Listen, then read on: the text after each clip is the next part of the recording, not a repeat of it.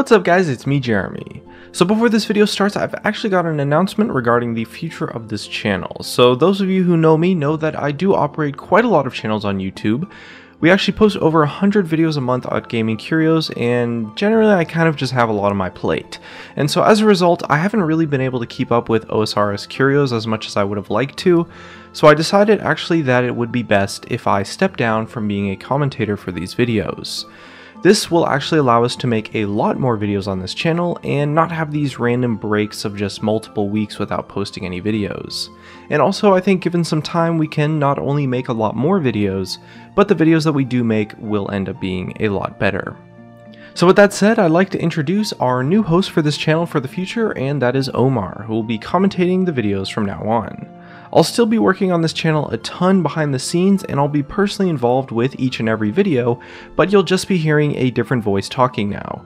Omar was actually working a lot on these videos with me behind the scenes, so I think he'll fit in really naturally and honestly his voice sounds better than me anyway. So without further ado, take it away.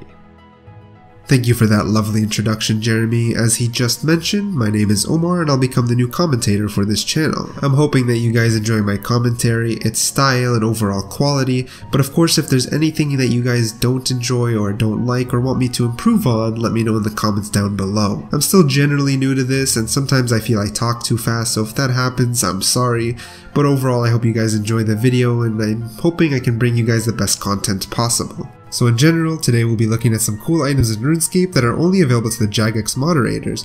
Lots of the community has actually spotted these items being used by the JMods themselves during their live streams.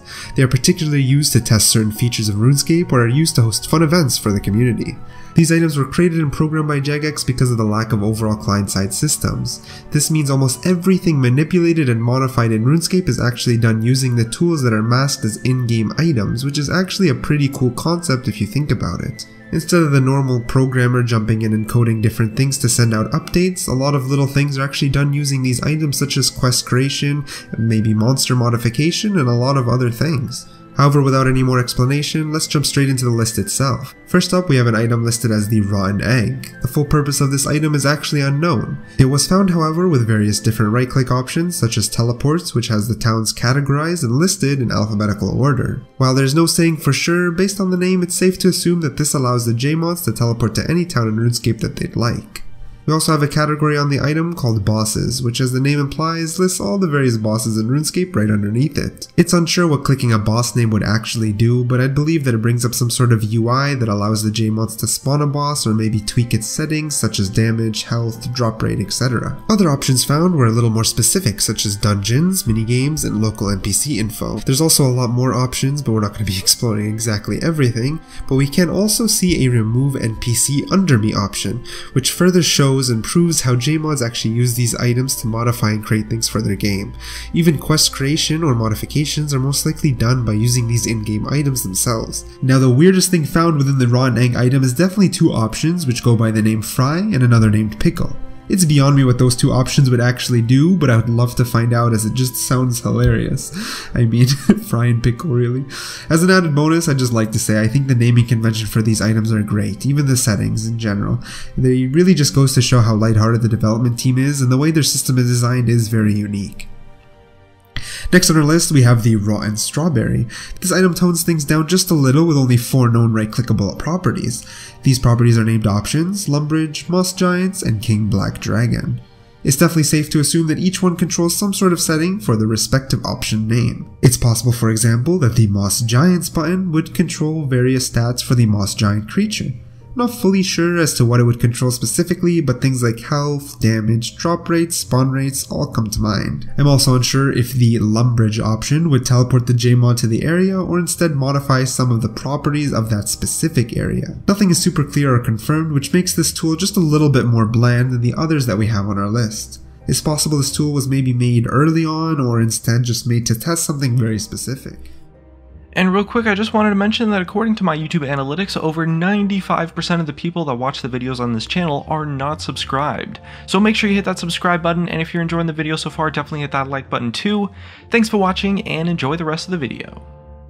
With all that being said, following our rotten themed list, we have our next item. The Rotten Cabbage is this item that also has four right clickable options, but they're a lot broader and present more possibilities. The properties list Control, Spectate, Info, and Options. It's easy to assume that Spectate allows the moderator to visually see various things such as another player, maybe an NPC or an enemy. Control and Info, however, are very broad terms and could possibly be used for just about anything. It's completely possible that Info option quite literally gives the JMod information about anything they click or view in the game. However, all we can do is speculate because there's no official information released about this item or its functionality in general. Next up we have an item with much more confirmed functionality. It goes by the name Rotten Carrot and using it on another player's account will instantly kill them and reveal the bank and inventory content. This is to hunt down and punish cheaters or exploiters who take advantage of a glitch or a hack to obtain items or gold in illegitimate ways. It's definitely great how this item was designed and implemented just for the use case of catching people who are abusing or exploiting the game. It's a great way for the moderators to find these players all while playing the game themselves. To be honest, it does sound kind of fun. I mean, imagine going around with your rotten carrot and just smacking a player and it'll kill them instantly and reveal all their bank and inventory content. I feel there's something probably very satisfying about doing that, and it kind of makes moderating sound a lot of fun.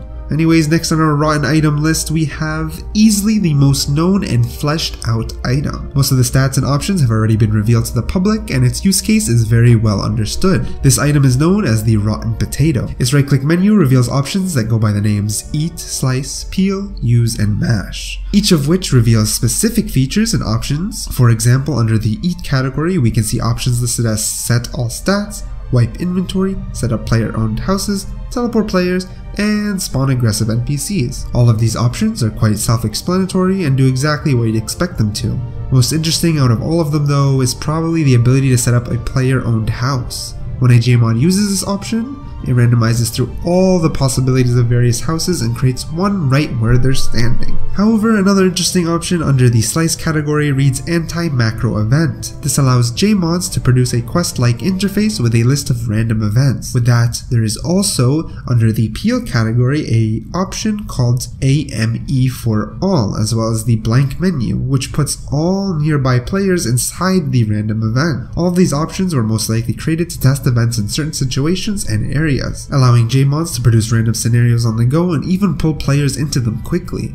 It's like a big creative playground created for testing ideas and events. It honestly sounds awesome and super convenient for all the developers trying to create something within the world of RuneScape. However, the item options don't end there, as there's also a teleport to rare, which teleports the user to a dropped rare item on the server, Similarly, there is also Spawn Rare, which manually spawns a rare item below the user. The most interesting option on this item though is probably simply the Use button. It has a lot of interesting characteristics depending on what you click. Different things will happen when you use the rotten potato on different things in RuneScape, which sounds a little bit weird but let me explain. Using it on the potato itself will delete the potato.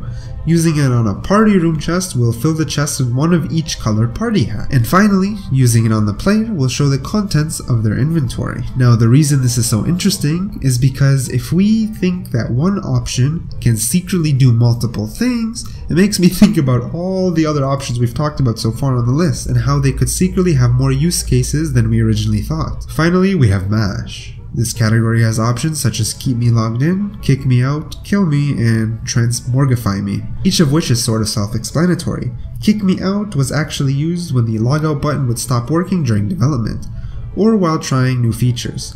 Keep Me Logged In completely disables the inactivity timer. This was probably used for JMods to test things that would happen over a long period of time. Finally, there is the Transmorgify Me, which allowed the user to turn into an NPC, object, or item. I'm not too sure exactly why we would need this feature, but maybe it was used to hide and observe players. I think if a player knows that a JMod is around, they might act or play very differently, but instead, if they can hide while still being in the game itself, it gives them a unique perspective on how players play or react to new things they're testing. Last but not least on our list, we have the Holiday Tool, which is a very special item as it's the only one on this list that was usable by more than just the JMods. Besides being the only item without the word rotten in it, it was also at one point given to the player themselves for a very short period of time though. This item was given to certain clan leaders, live streamers, and players who focused on hosting free-to-play events. This item spawned free-to-play starter packs. It could spawn around 10 starter packs 20 times per day. I think this item is one of the coolest on the list only because they created something that could modify and add something into the game world, but allowed players to use it themselves. It would be amazing to see Jagex do more of this in the future. RuneScape is definitely a community driven game, and giving them the opportunity to create things, to play together as groups, or host events in some sort of way is an awesome thing that they could further explore in the future in my opinion. Anyways, with all that being said, hopefully you guys enjoyed my commentary today. If you enjoyed the video, then hit that like button, let me know what you think in the comments below. Remember to subscribe for more in the future, and as always, thank you for watching, and I'll see you guys next time.